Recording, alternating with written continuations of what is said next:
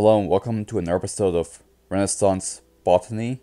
In this episode, we'll talk about the paper Experiencing the Past, the Archaeology of Some Renaissance Gardens. This paper I'm referencing is by Dr. Brian Dix. The goal of this paper is to understand the original methods and techniques utilized in the creation of ancient Renaissance gardens, using archaeology, historic maps, and several other methods, with the goal of being able to restore or recreate similar styles of landscapes in the modern day. Renaissance gardens were typically featured as simple linked arrangements of borders and banks. However, there's a lot more to that. Many of these aspects of the Renaissance garden were aimed to impress and showcase a specific skill or idea within each garden. So the topography and landscape physiology that that landscape architect in ancient times would have used will also play a role in explaining the process behind both the creation of this landscape garden and the thought process behind it. And here are the results of that study. Most gardens within the Renaissance era were developed by landscape architects and artists of that time. Although subject to the manipulation of their patrons, the artist's personal interpretation and designs remain more or less intact from schematics to final product. Manipulation of topography to improve the garden has also been used. For instance, in the 16th century, small amounts of the forest began to be incorporated into the garden itself to be complemented with the ornamental gardens and specific buildings. Topography also acts as a constraining aspect. One commentator mentioned that the watercourses at the Vallery of France garden is flowing in the wrong direction. However, based on the topography, this is the only direction it could possibly flow in. The garden at Vallery, France has a local topography determined by the scope of the garden.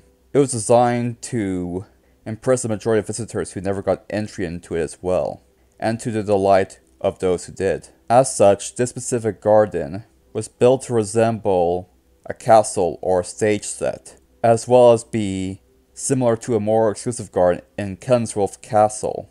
Both utilized love poetry within the design and thought process behind these gardens, using scenes depicted in such poetry to create a base of which the garden should be made in the image of. The gardens of Holdenby were designed by architects to induce envy, as well as manipulating the topography to create the image of an idyllic countryside, even though it's fully designed and operated by an individual. The Lyveden Garden was created by architects who designed the garden with a series of ascents and carefully laid out a garden path that represents a depiction of a sinner walking towards redemption. Other gardens, such as the one at Kirby Hall, was meant to be seen from the upper windows of the house, but was further altered when it became the fashion to invite people over to look at the garden. This type of garden was unique and very experimental, showcasing the creativity utilized during the Renaissance era. The garden entirely was made out of grass, with no flower beds whatsoever relying on the shapes that the lawns were cut into to create the look and feel that the gardener was looking for. Privy Garden, however, was a completely different system, which relied almost entirely on flowers. It was recently recreated as of the writing of this paper. But back to the garden at Vallery. The garden was created to turn the entire surrounding area of a medieval castle into a expansive garden setting. This was a residence for Jacques d'Albon, as well as Marechal de Saint-André, as well as a spot that King Henry II dwelt. That's spelled H-E-N-R-I, not H-E-N-R-Y. This garden was created by the artist Pierre Lescot. Modern archaeological studies were carried out between 1995 to 1998 on behalf of the French government to begin preliminary restoration of that ancient garden. The earliest known writing about this garden occurs in 1554 to 1558, which refer to the construction and filling up with twin pavilions at each end of a connecting gallery that divide the main pleasure ground from the other garden areas. This information was recorded by Jacques Antoinette de Coutu for eventual publication in 1578, the first, the first volume of his book Les Plus Excellents Bastiments de France. This design also boasted a substantial dam separating the gardens from the reservoir, or artificial lake upstream, where now dwells a field and a country lane. The dam, however, remains largely intact and still stands to a height of almost 5 meters, and is 20 meters thick. Its construction alongside a series of supporting canals allowed the use of this new device to make inhospitable ground hospitable. Initially, this landmass was damp and marshy and frequently underwater, based on pollen and plant remnants, but after the creation of the dam, dry conditions followed, and from there that dam allowed for water to be carried through the main garden, indicating that that dam location was once a swamp that was repurposed to be a water source. The central watercourse was flanked by narrower channels with ground in between, as well as being flanked by double rows of trees that were known to be alders, which thrive in damp sites. A similar phenomenon happened with another part of the design for a planting that took place in the inner banks of the two streams. Further examination revealed that the garden and the dam were both being created at the same time. The filler material was made by dumping material at either side of a clay core, with the mass being held together by several strong outer walls. The wall facing the lake was built with a slight batter to withstand pressure, and the walls were made from sandstone to make it look shiny when looked upon from a distance. The wall itself was built upon a timber spreader plate, which was above a series of wooden piles, which had been driven into the marsh proper. This created a stable footing for the wall to rest on. Access into the pleasure garden proper was made via a Century Place twin staircase, which is connected by the canal proper. The staircase was flanked by various ornamental plots, with trees planted at the corners. Each component was laid out with geometric patterns that are symmetrical in themselves, although no two are identical. It appears that this entryway had 16 rectangles in total.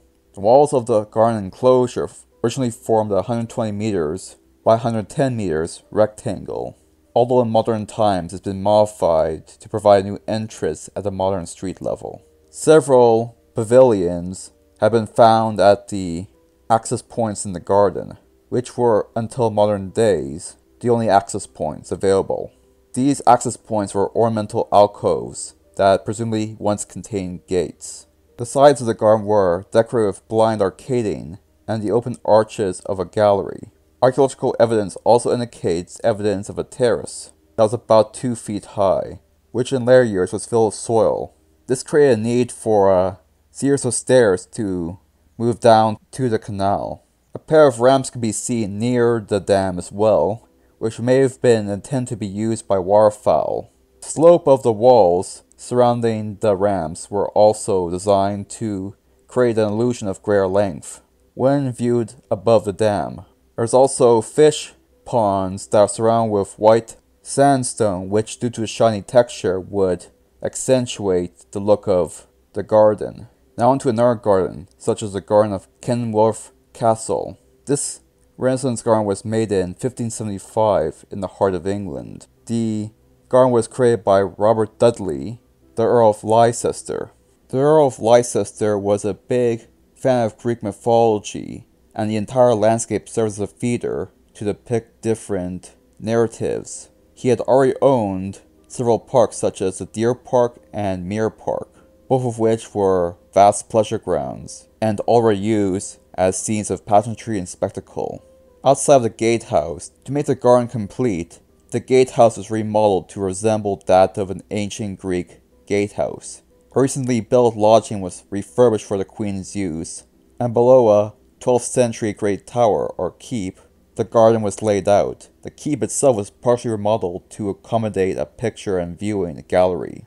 In contrast with the public spaces within that castle, the garden provided a very private spot filled with different narratives, sights, scents, and sounds. This is a place where the Earl and his wife spend a fair amount of time if you catch my meaning. The garden was filled with flowers, fragrant herbs, fruit trees, made to enchant and seduce the onlooker. And within the garden itself, several different statues depicting different scenes of Ovid's metamorphosis were built. Although the initial schematics and the writings remain intact, all the remains of the original garden is the foundation. Remnants of the foundation for a main fountain sculpture was dug up in the excavation, which contained small pieces of Carrara marble.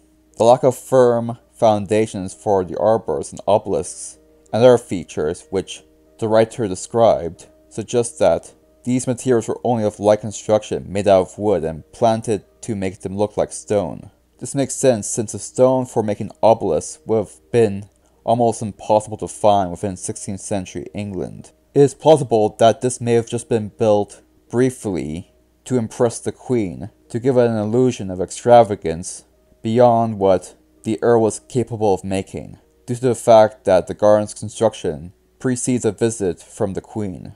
There are still three more gardens to cover, but that'll be for next week's episode. Stay tuned for that. Thank you for watching this video. If you're watching on YouTube, please subscribe to me on BitChute for a greater variety of content, four videos a week. And thank you to all my subscribers on both platforms. I appreciate it.